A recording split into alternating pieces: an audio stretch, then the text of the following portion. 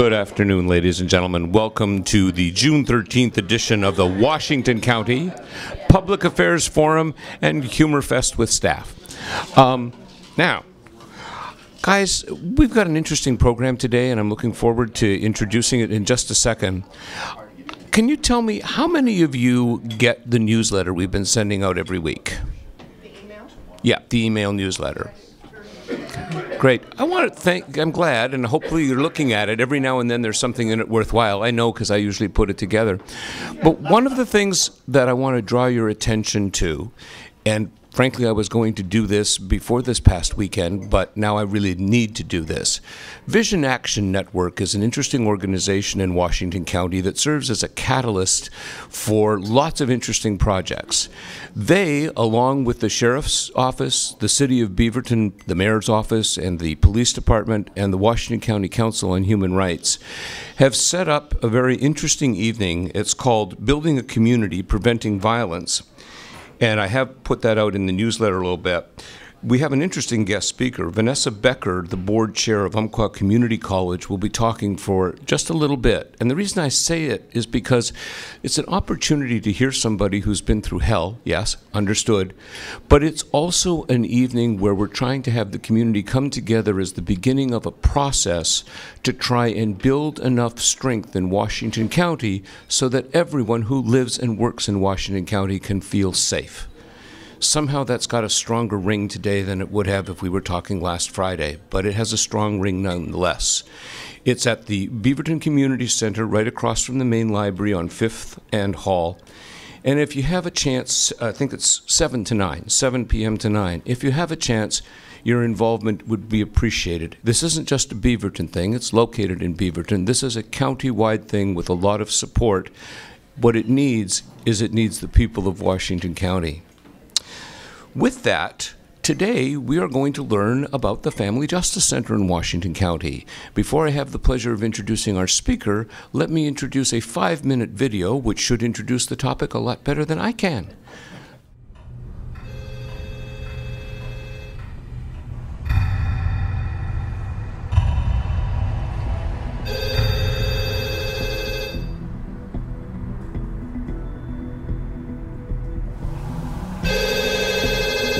I get on the phone and I'm in tears, and the nurse is like, Listen, if you feel like you don't need to come in, that's fine. Don't worry about it. And I'm like, Oh, so you need me to come in? And I'm crying. And she's like, No, but if you feel like you need to, you're more than welcome to. And I was like, Oh, so you need me to be seen? And you could tell she was confused, right? But the reason why I did that is because I needed him to think I was expected somewhere.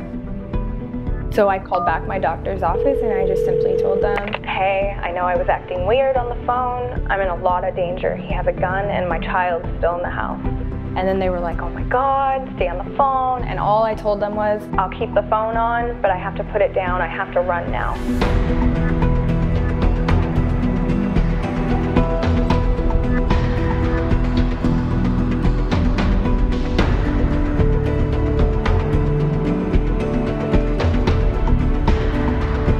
Justice system, I know they get arrested, but that's as far as the officer can protect me. He'd be able to bail himself out, and I knew I had nowhere to go after that.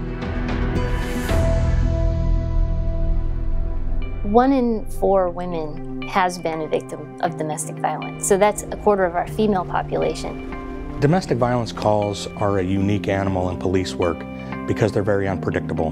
There are a number that I have been on in my life that I will always remember because of the nature of the violence. A survivor of intimate partner violence tries on average seven times to get out of a relationship. Even if they do seek help, even if they do call the police or their offender is taken away, they are left floundering to try to figure out what to do. Our current arrangement is that the survivor has to go to 5, 10, 15 different organizations to get all of the things that they need. Telling, retelling their story every single time, which is, you know, reliving their trauma every single time. You have low self-esteem, you're scared, you're scared for yourself, you're scared for your children, and you come in and they give you a form. You got yourself out, then they don't want to help you. Once we began to figure out how complicated it is for victims to get help, we realized that we had to figure out how we could put all the services under one roof. Just prosecuting the case wasn't solving all of her problems, and just prosecuting the case wasn't addressing the needs of the children in these complex family situations. They're bringing in survivors. They're listening to survivors because they have the information that we need. Having a safe place to go immediately, to have someone who was like, I'm here and I'm going to walk through this process with you, that would have been really beneficial.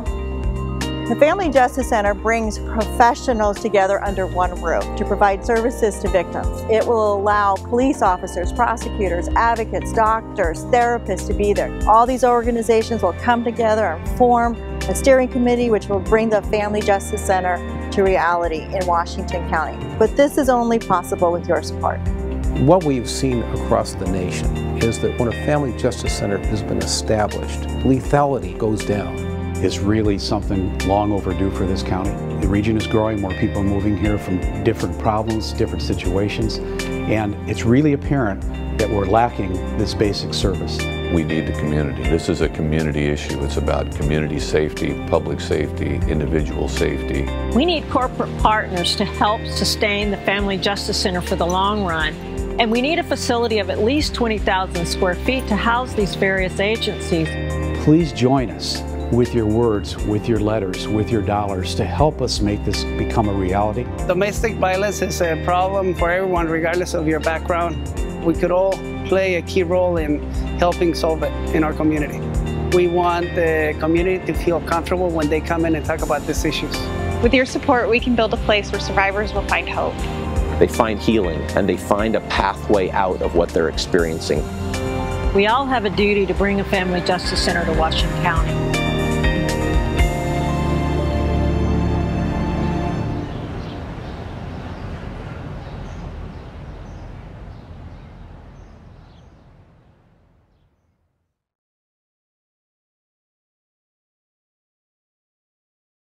Ladies and gentlemen of the forum, the project manager for the Washington County Justice Center, Patrick Lemmon.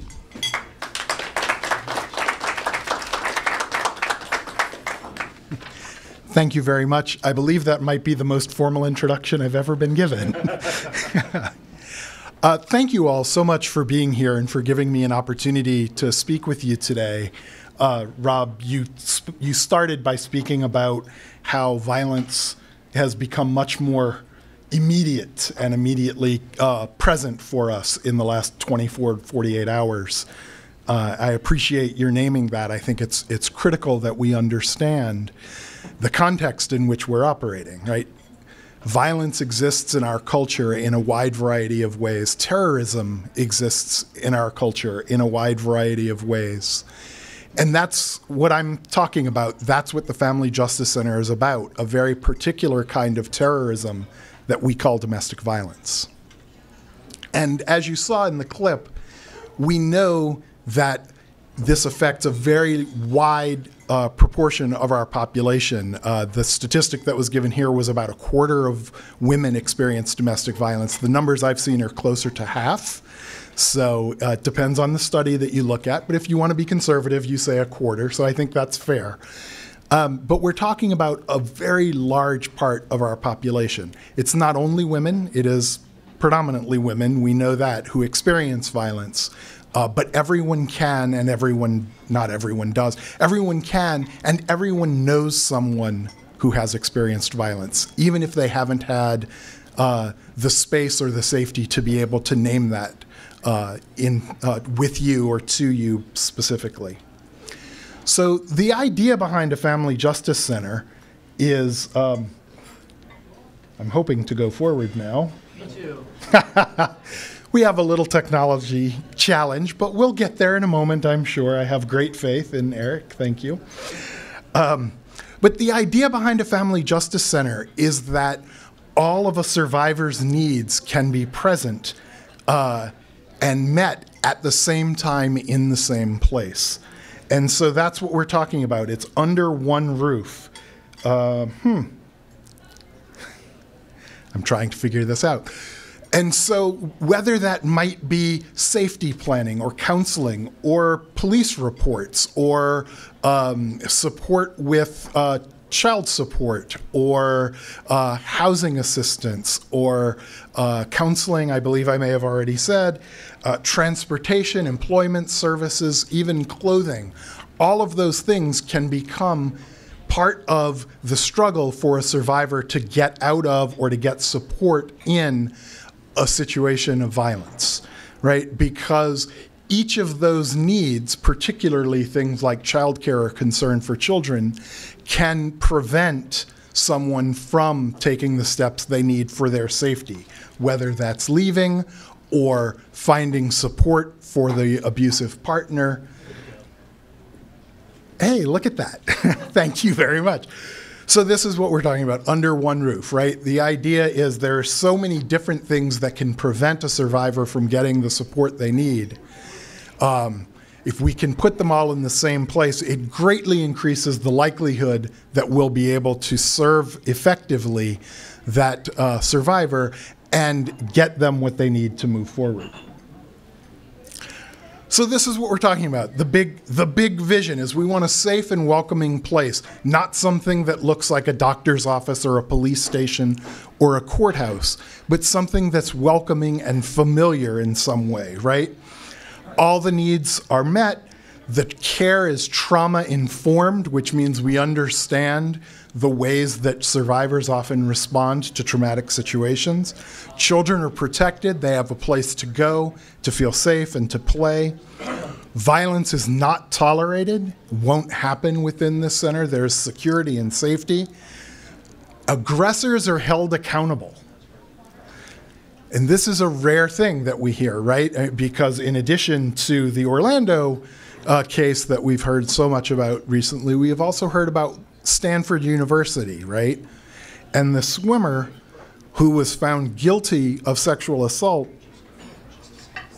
but who was convicted, who was uh, sentenced to six months because the judge wanted to make sure that his life wasn't ruined. And I think it's valuable to pay attention to the idea of not ruining the lives of people who are offenders. I actually support that idea. And that's also, in this particular case, seems to be lacking accountability and lacking a recognition of the harm that's caused. So, finding a way to address the harm that's caused is also part of this. We find ways to address economic justice, make sure that families are supported. And families have the ability to thrive, not just survive, right? I, I refer to victims as survivors, and I think that's important and valuable and it's only the first step, right? We need to make sure that families are able to thrive. We break generational cycles, we restore hope, and that all of us work together. That we see this as a county-wide, statewide, community-wide, however you see yourself. We see this as an issue that all of us play a part in resolving. So looking specifically at Washington County, these are, as you can see, the police reports for 2014 and 15 for domestic violence. It happens in every community. Um, you can see, obviously, Beaverton and Hillsboro have the largest uh, number of assaults, but they do not have the largest proportion. This happens in cities and in suburbs and in rural areas. We know it happens everywhere. And that's the key that we need to recognize. It does happen everywhere.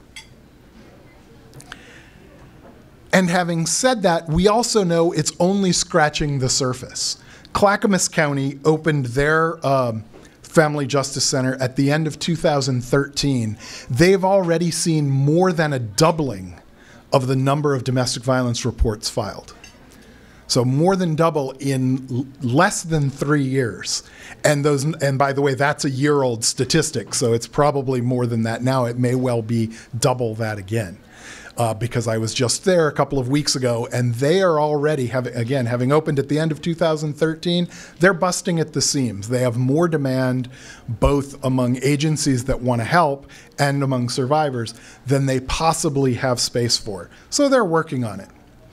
But in Washington County, what we know is that since 2000, there were 125 homicides.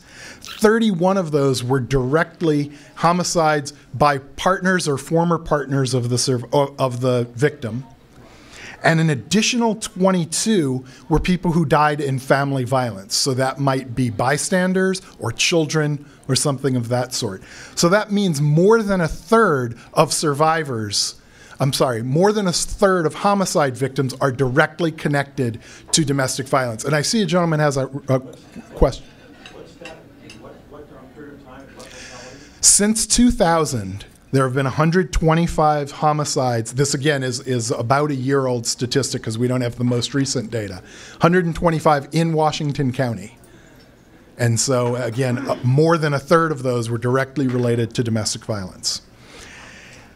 We also know that the cost of a homicide prosecution is between one and one and a half million dollars, and then lifetime incarceration is another million dollars on top of that. So this is in addition to being an unacceptable level of violence, it's also quite expensive for our communities. And if we can find ways to address that, we can get a lot farther and not to be crass, but and save money as a community, which is something we're all looking for, right? So I talked earlier, and you heard in the film, the idea that it can be daunting to figure out how to reach all of the different services that you might be able to get, right? You have to go from place to place, moving around. Imagine if you don't have a car or if you have children who have to come with you, or if you have a job and you're taking time off of work. If you have to go to all of these different places, sometimes as literally as many as 10 or 15 places, and schedule appointments and make all of these different things, if you do that, it often becomes impossible right? And so at a certain point, you decide it's better for me to stay and take my chances. Hopefully, I'll be able to survive that. And that's a struggle not only in Washington County, it's a struggle everywhere. And that's why our friends at the Alliance for Hope International, and this is them, it's Casey and Gael in the back, they are the founders of this project. They're in San Diego, and they understood that if we found ways to make that path simpler and more straightforward, if we served survivors rather than survivors serving our needs, we would be much more effective. And so that's what we're trying to do. So we did a study here in Washington County. Key findings, what are we what are we looking for, right? And what we know is that this is true. Some of these are specific to uh, Washington County and some are national, right? So with family justice centers, victims are more likely to remove themselves from the abusive situation that they're in. If that's what they want to do, they're more likely to do it with a family justice center model than with the traditional model with, that we've had to this point. They're also more likely to show up for trial uh, and uh, testify at trial. They're also more likely to seek diversion, again, if that's what they're looking for. And diversion is alternatives to traditional criminal justice models, right? It's a way of, again, reducing cost and reducing recidivism rates. We also know that lethality diminishes. We obviously don't have any information about that for Washington County because we don't we don't exist yet as a center. We're working towards that. But what we know is that nationally, there are domestic. Uh, family justice centers have had as much as a 50% reduction in DV homicides. And so that's an enormous statement of success, right? And by the way, that's on top of the research that's been done that between the 1970s, when domestic violence shelters were first opened, and the early 1990s, we saw a 30% reduction in uh, DV homicides when that happened. This is on top of that, that DV homicides are going down very quickly. But part of why we know this can work here is that we in Washington County have a history of working together. The Domestic Violence Intervention Council is very strong here. It's done a lot of work. They're very much in support of this.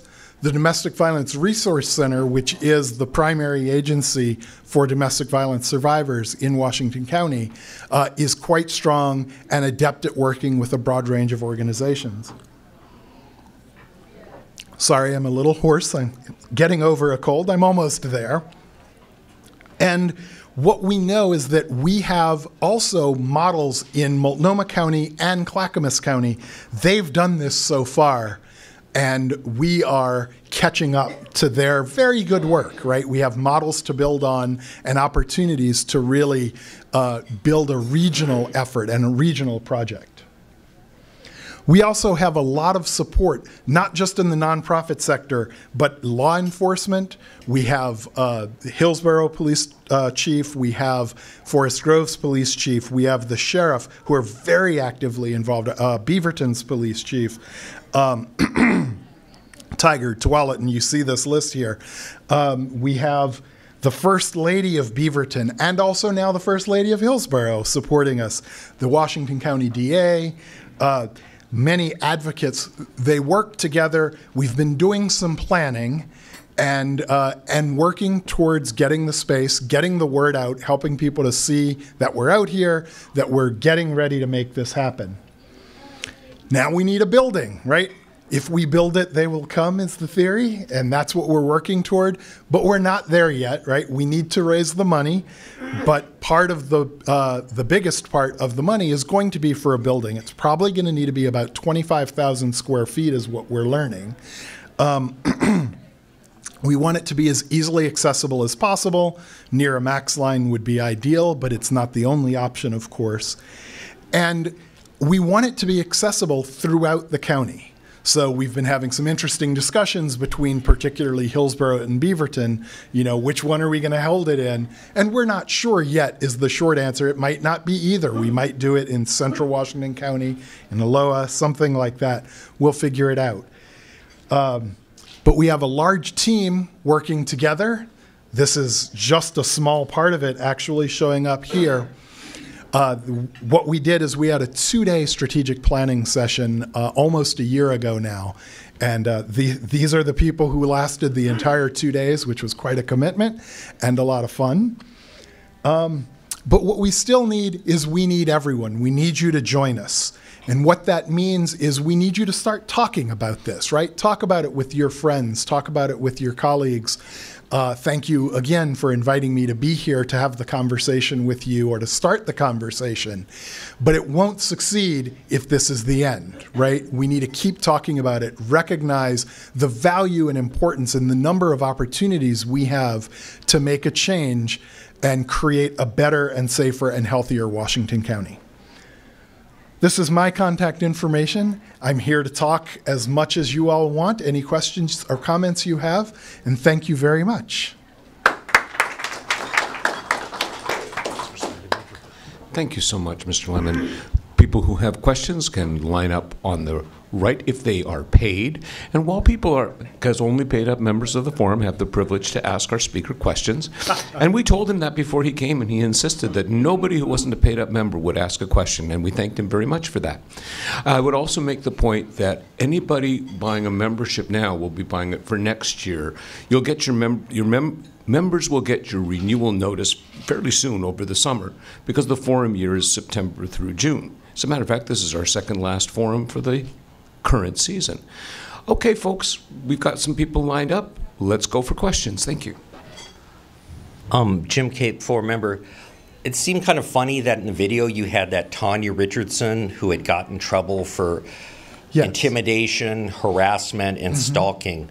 But the main concern is that you talk about needing money, but the money is already being spent. I mean, the county district attorney has several employees working on this. Mm-hmm. The county sheriff's department has several employees working on this. The five member county commission has oversight on this. Mm-hmm. The 17 or so county judges have partial oversight on this. Many of the cities have several employees involved in this. The State Department of Justice has several employees who are supposed to be doing this.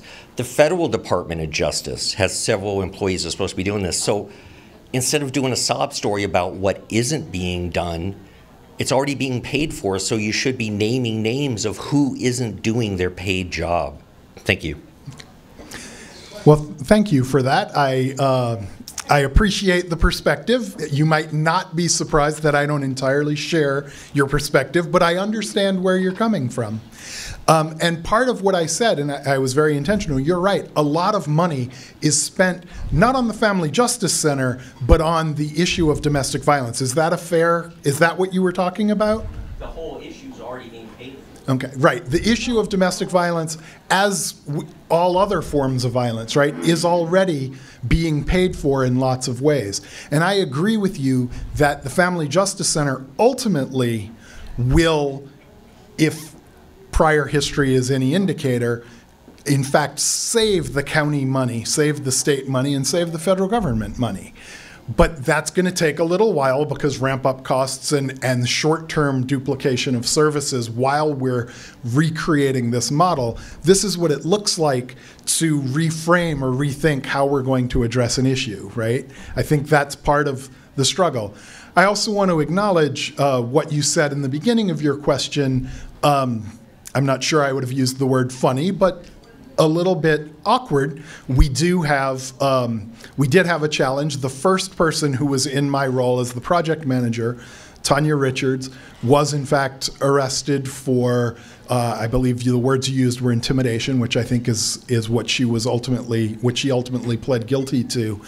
Um, she was part of the Family Justice Center effort. She put a lot of energy and time, and I acknowledge and appreciate the work that she did.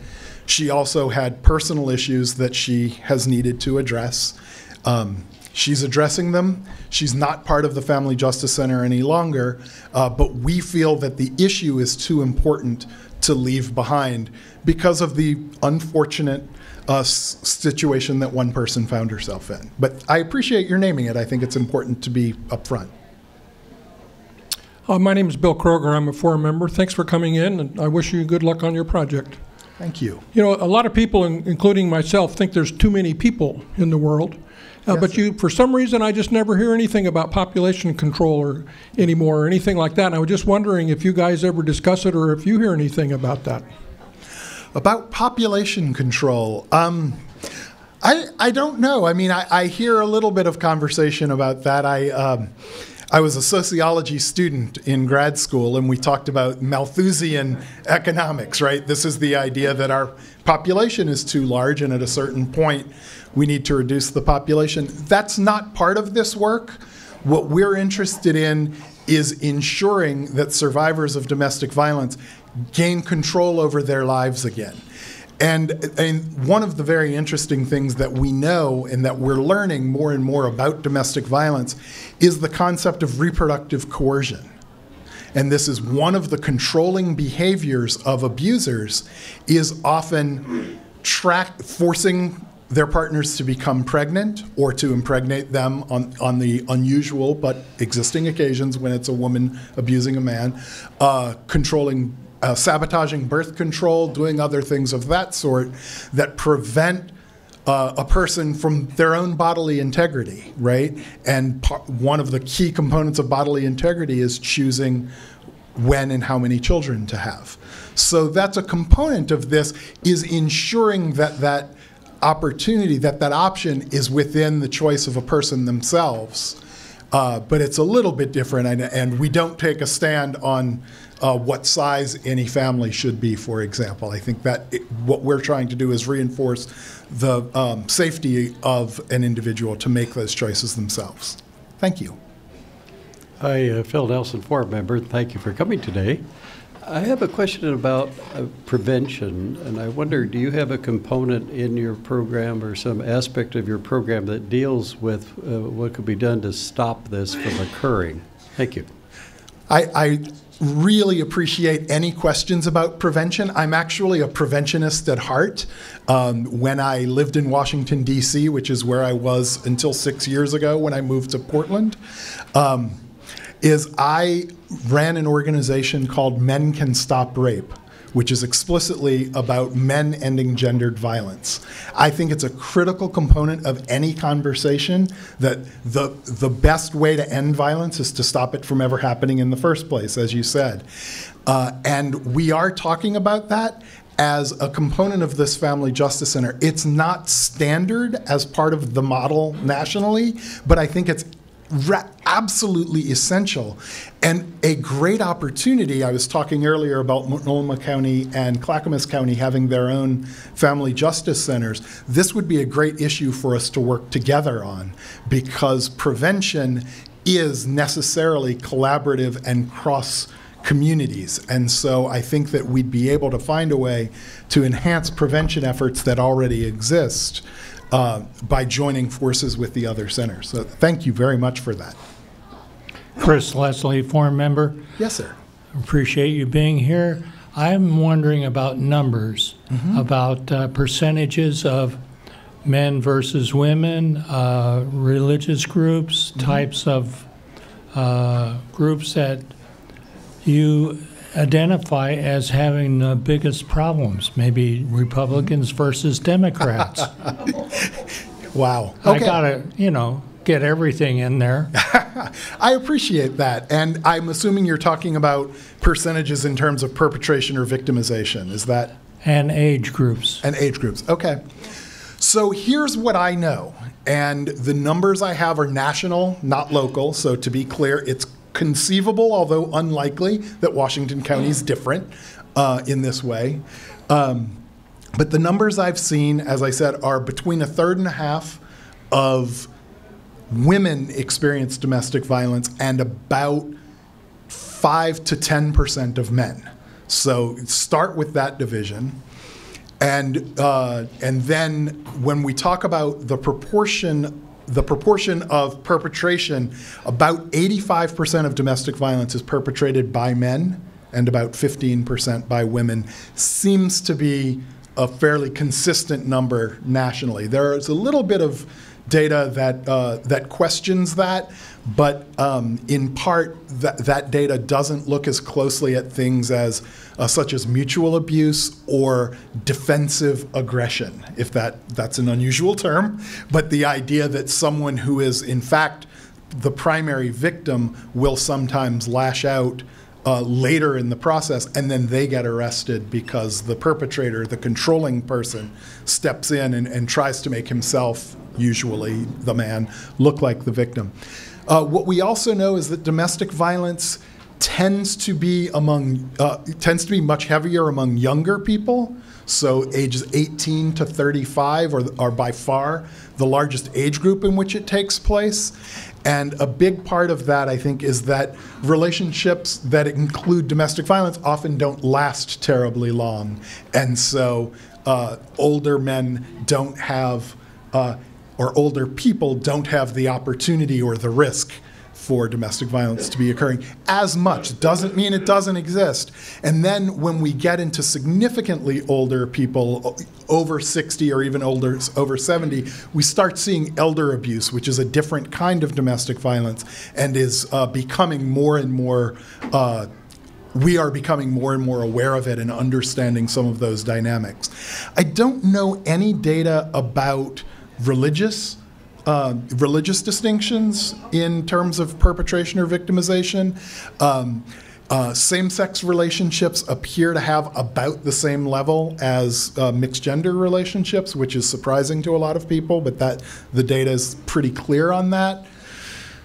And I know nothing about Republicans versus Democrats. like, let me see if I can get all of the pieces you asked. Thank you very much.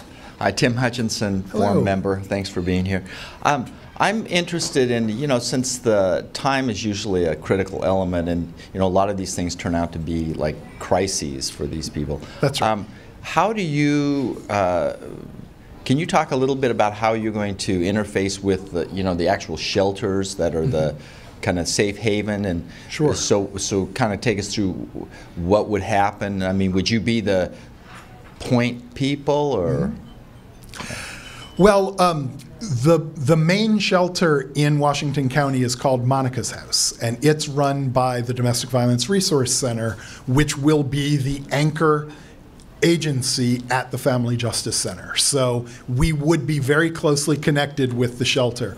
Um, the shelters in the Tri County area also share uh, information with one another. So if there's an open bed in Clackamas County and not at Monica's house, then the person will go to Clackamas County, and we, we do that kind of exchange regularly. Please. But I'm know, these women are slash men, whoever Mhm. is the big, uh, what, what was your, their initial contact? Did they call Ah, you? I gotcha. Okay, so the, the question, so because it's not mic'd, so I want to make sure that it's uh, caught on the video, and I got a thumbs up from the videographer. Happy to help. Uh, the question was, so what's a person's first point of contact? And uh, there are lots of options. They might call the police first. They might call uh, a housing agency. I was talking to someone uh, during lunch earlier uh, that more than 70% of child welfare cases, so if a child welfare call comes in, involve domestic violence. So it might be from a child welfare case. It might be a neighbor. The first contact can look like a lot of different things.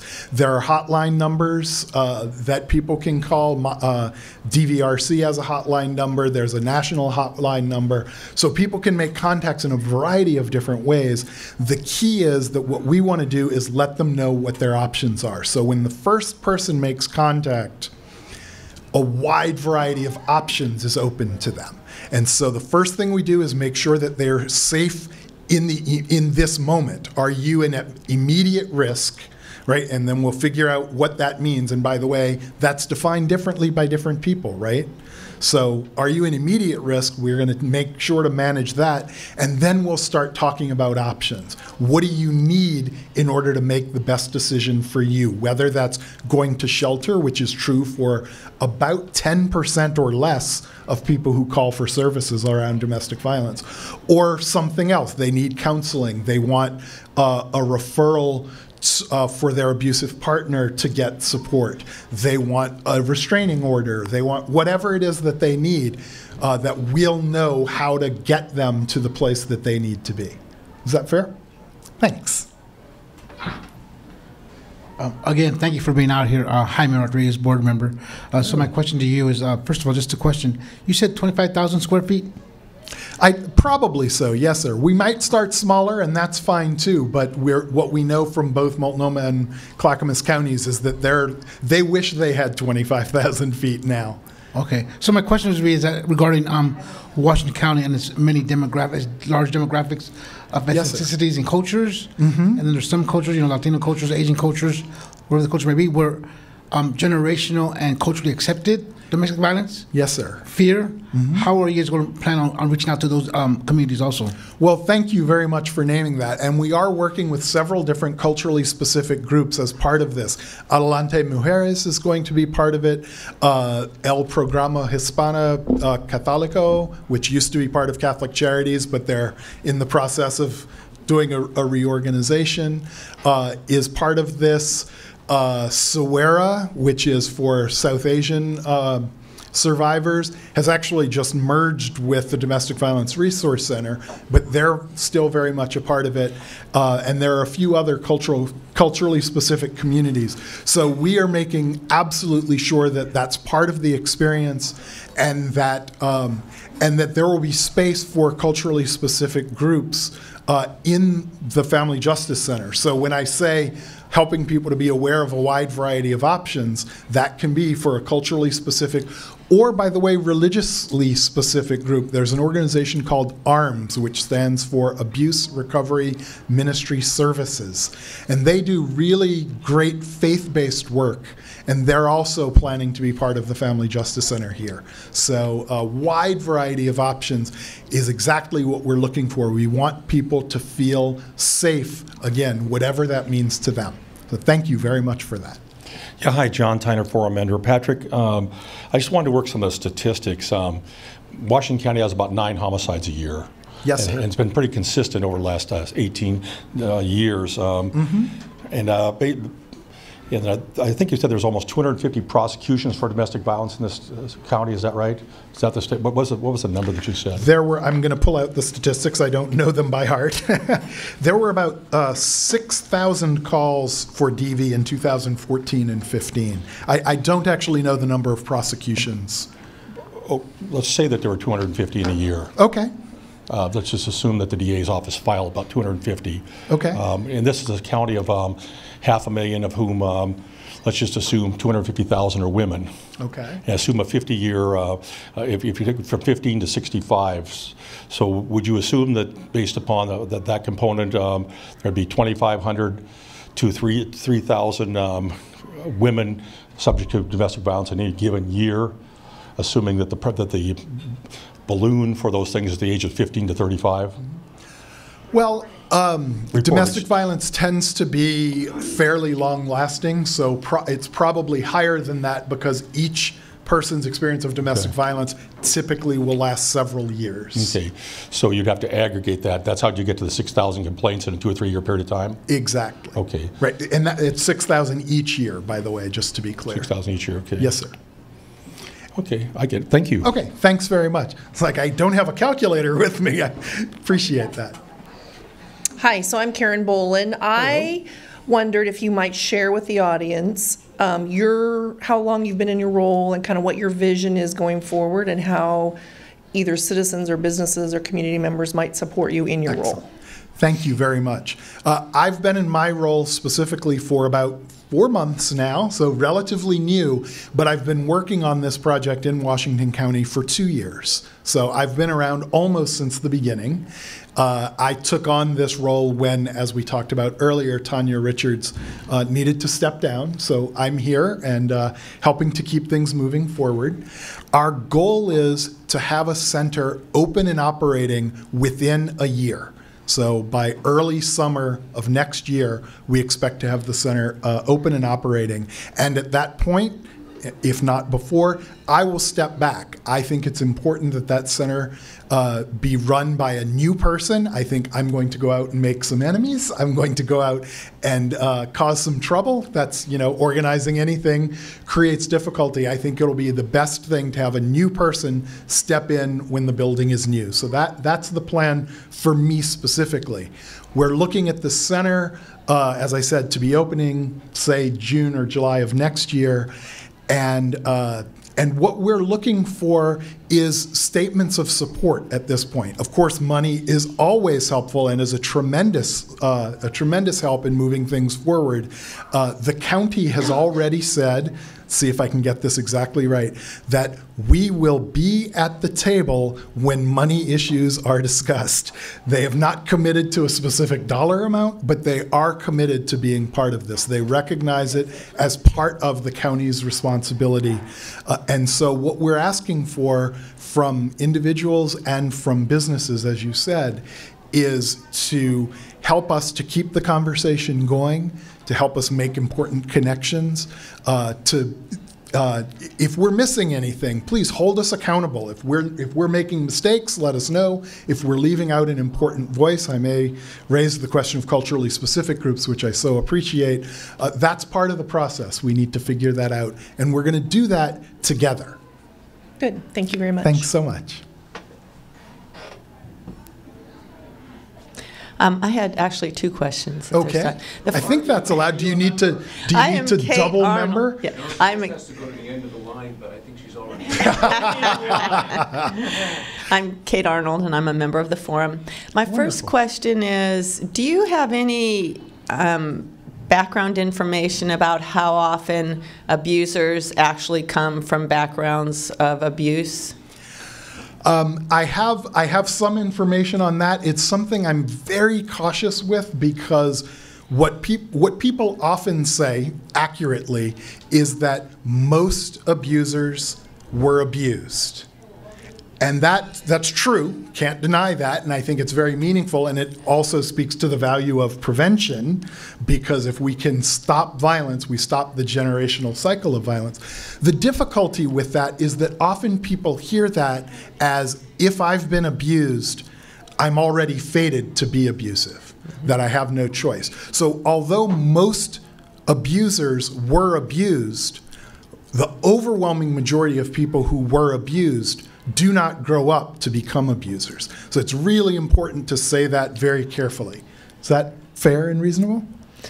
Um, yeah, I just wonder why the statistics continue to stay. I mean, a quarter to a half is that's those are that's is that both mental and physical abuse? Uh, that is people who make uh, who define their experience as domestic violence in some way. So it can include mental, physical, emotional, economic, sexual, uh, and on down the line, all of the different forms of abuse. Um, but it tends to tilt heavily towards people who experience physical abuse because that's what our culture tends to define as uh, domestic violence. Which makes it even worse. Exactly. So it's probably higher numbers than that in reality. Exactly. And how often are kids abused as well, and what are the protections? I mean, like the big one, one of the, the biggest problems is someone who's abused will often drop the charges. If a child's abused, is there a higher standard? Wow. Um, well, I'm not with law enforcement, so I want to be careful about uh, speaking for them. But what one of the things we know is that um, the correlation between child abuse and domestic violence is extremely high, that it's almost one to one. If one is happening and there are children in the home, then the other is almost always also happening. So uh, the connection's very strong. And even if not, the experience of witnessing abuse is identified as a form of trauma. And so even if a child is not being directly abused themselves, the fact that their parent is being abused uh, is deeply impactful for children's lives.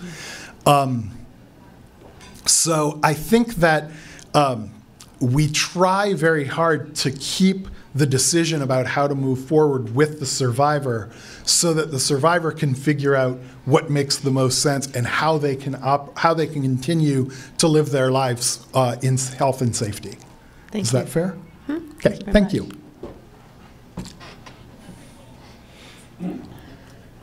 Chris Appreciate Leslie the again. challenging questions. Please. Uh, the idea of um, tax deductions, you never mentioned that. Are people eligible if they donate? Yes, we are, thank you. We are a 501c3 uh, nonprofit organization, so all, dedu- all uh, donations to the organization are specifically tax deductible. Thank you. And a follow-up? Yes, sir. How do you um, account for substance abuse in a lot of this domestic violence?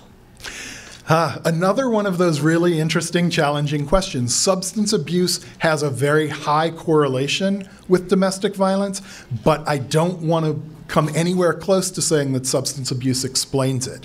Often, what happens is that people use substances in order to lower their, lower their inhibitions to give themselves permission to engage in behavior that they would want to behave in, uh, that they would want to engage in anyway. And so, it's an it's a it's a kind of self permission to be abusive when people take substances. Thank you. Good afternoon. Mike, apparently your cold's going around quickly. I'm very sorry. uh, Mike Holcomb, former member. Uh, I want to get back to this building. You're Yes, talking 25,000 square feet, so therefore we're talking roughly what, about a two and a half million dollar building? Three Um, stories, four hap- stories? Haven't done all of the all of the research on it, but yeah, it's it's looking like something in that direction potentially. Okay, and then pulling all the agencies into it. Mm-hmm. Are, when the agencies come into it, does this mean such places as the employment office down in down, downtown Hillsboro, is that going to move to it?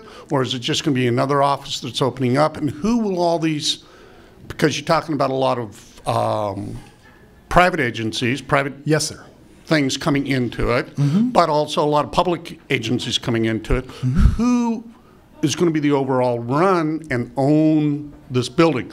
Family, you know, domestic Family violence, Justice you know, justice center. Is it going to be, or is it going to become part of a county? uh, you know, it's, uh, you know, something under the county for, you know, situation, and therefore a new building that they're going to be responsible for paying for and maintaining and so on and and so all forth. of those components. things- yes, sir. Well, uh, we are in discussions about a wide variety of possibilities, right? We want to leave open, uh, we want to leave ourselves open to what comes available. Uh, we're unlikely, frankly, to build our own building. We're likely to uh, use a building that exists. If the county were to come to us, for example, and say, hey, we have this building that's available and it meets the criteria for what you need, and we're, let, we're willing to let you move into it, and that'll be our contribution, I think our response would be yippee right? You know that so we don't want to say we're going to get our own building. It's we're open to options. We're just starting to look at that right now. Uh, it's part of the process moving forward. Um, so that's still somewhat up in the air but you're right the expenses could ultimately be pretty high. Uh, but the other piece of that uh, that you asked about is whether services would be moved from one location into the Family Justice Center. Our goal is not, actually. Our goal is that it would be an expansion of available services. So if there's a location for housing services uh, in one place, we wouldn't want to remove that and put it in the Family Justice Center. Ideally, what we'd want to do is have more services available, if that makes sense. So that would stay there, and we'd have another spot here. Um, so that's again, though, it, it's we need to talk about that and figure that out. For small organizations, that might not be possible. In which case, they might choose to entirely relocate, and we'll support that if that's best for everybody. But what we're talking about in terms of our budget, again, it's nothing's finalized, but we're starting to sketch it out. Is we're probably talking about six to seven hundred thousand dollars a year for the Family Justice Center uh, it, itself. And that is the organization that would run the building or run the space. Uh, and then it would have a lot of tenants, being all of the different people, the partners that we've spoken of. Thanks. Last question. Hi, Spencer Ehrman, forum member. Hi. Um, timing is critical. Um, the sooner the better. Yes, sir. Washington County is a very diverse uh, county geographically. It sprawls. Yes. Um, might it not make sense to uh, some in, take some interim steps by partnering with some existing agencies such Mm-hmm. as LifeWorks or Community Action, Mhm. um, organizations that already have um, geographically diverse facilities, Mhm. and use a space there as a way to set up centers. Hmm. Uh, what you know, Tigard, Wilsonville, Right. you know, wherever Mhm. out here. Right. So. Well, thank you for that. And the- all of the partners that we've talked about who are part of the Family Justice Center effort are already providing services. And so, and they're located fairly dispersed across the county. And so, what we're doing is uh, or what we're seeing already is that organizations are doing more collaboration and working together today than they were two years ago because of the experience of the Family Justice Center. And so I think we're, we're doing that kind of on an informal basis now uh, because we're, we're at the moment keeping our costs very low uh, by managing it that way. And the idea is when we get to the the you know the opening point uh, we'll be able to do a lot more. And we're also talking about how we can you know assume for a moment that we're going to be in beaverton which is one of our options. If we're in beaverton how we'll be able to serve the rest of the county. Uh, and we've talked about a wide variety of different possibilities. I mean from things as kind of out there as having uh, i remember growing up the bookmobile right? That we would have the Family Justice Mobile. It would be a large uh, mobile center that could move around the county and be in different places to ensure that no one center is, uh, or no one location is underserved or is dramatically underserved. Uh, another option is that, as I said, the existing agencies that are already fairly widespread is that we might be able to map where they are, put the Family Justice Center where they are not, and then if those centers stay, if the other agencies stay open, then people could have an initial point of contact uh, at either the Family Justice Center or any one of the agencies. Thank you. Thank you. And thanks everyone for your challenging questions and interesting comments. Actually, They're always challenging questions. These people here are absolutely amazing. It's also interesting to see how well you handled them, sir. Thank you very, very much for being here, and we'll probably bring you back for a progress report sometime down the road. Anytime. Ladies and gentlemen, Patrick Lemmon, Project Director for the Washington County Family Justice Center. And next week, we're going to have our last for the our last program for the season. We have Dr. James Moore from Pacific University telling us just what happened in the primary election, because I'm not sure, and also what's going to happen in the November election, and I'm not sure I want to know that one, but he will be here nonetheless. We'll have our annual meeting. We'll see you at 11:55 next week. For the board, we have a board meeting over at this table in about five minutes. Thank you so much. See you next week. Thanks, Patrick. Thank you so much. Oh, thank you. Thank you. I got a question. Yes, sir. So, have you uh, partnered with anybody in the new One Stop Society? Because I think that that would be like the most awesome thing, because we have everybody who makes bad life decisions in one place. And, and I think that the speed dating concept following that would create a lifetime supply of, of new dysfunctional people. Anyway. We uh, actually have been in some contact with them because the county is looking at this that has a And so the county's trying to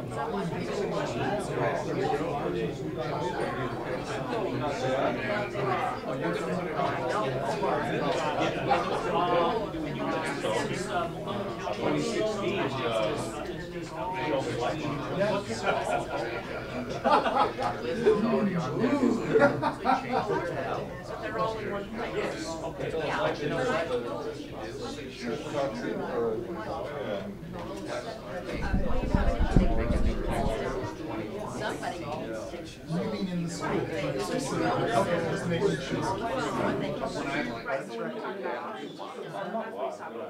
just making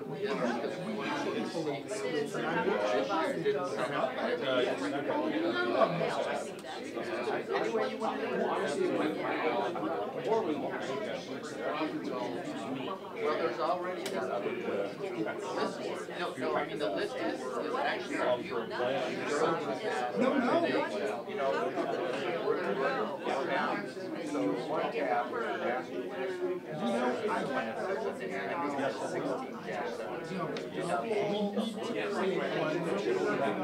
that's my part. It's, yeah, And that would have two names on it. Exactly.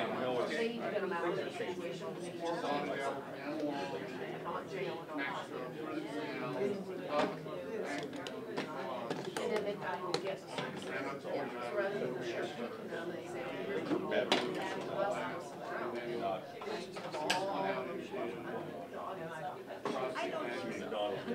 wish you had, and I wish I had as well. Very good. Thank